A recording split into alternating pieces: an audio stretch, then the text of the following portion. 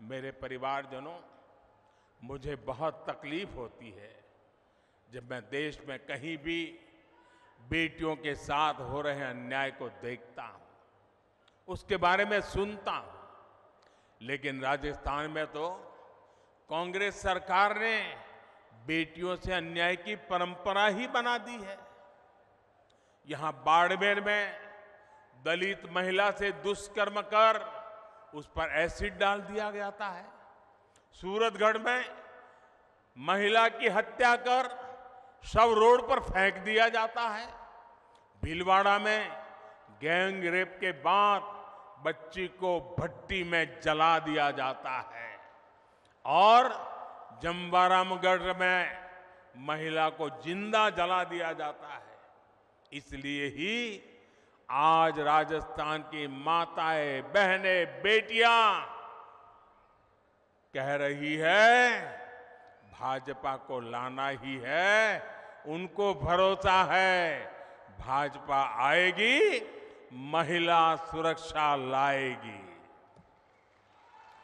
मेरे परिवारजनों, मेरी माताएँ, बहनें, बेटियाँ भी जानती है कि मोदी उनको दी हुई हर गारंटी पूरा कर रहा है।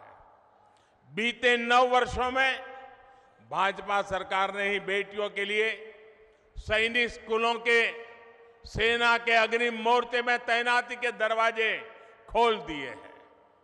केंद्रीय पुलिस बलों में महिलाओं की संख्या दोगुनी की जा चुकी है।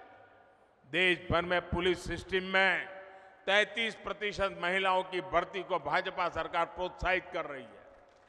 अब लोकसभा और विधानसभा में भी 33 प्रतिशत सीटों में बहनों को आरक्षण की गारंटी मोदी ने पूरी की है।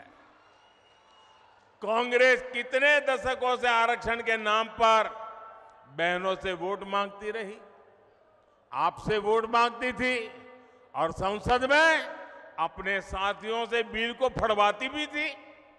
ये तो मोदी है और आपका मोदी पर आशीर्वाद है।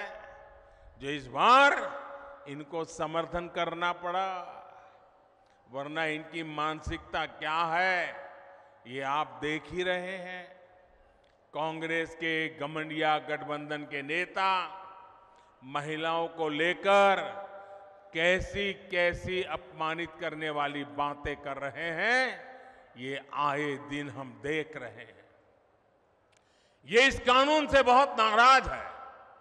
ये चाहते ही नहीं कि महिलाओं को उनका हक मिले, इसलिए बहाने बना रहे हैं। जाति धर्म के नाम पर भ्रम फैला रहे हैं।